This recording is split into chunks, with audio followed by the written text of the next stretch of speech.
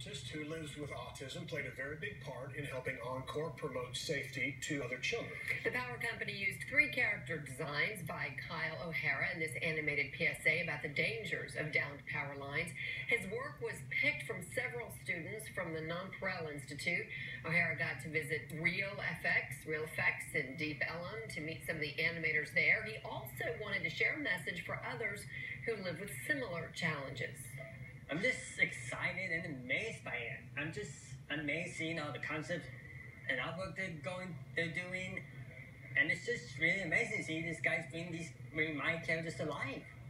Even though we live in a very negative world right now and a lot is going on, you still have a chance to be a light in this world.